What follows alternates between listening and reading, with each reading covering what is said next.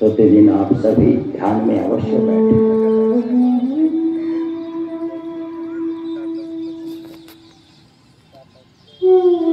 सर्वश्रेष्ठ।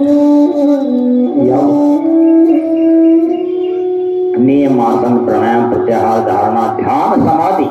ध्यान के बाद समाधि सब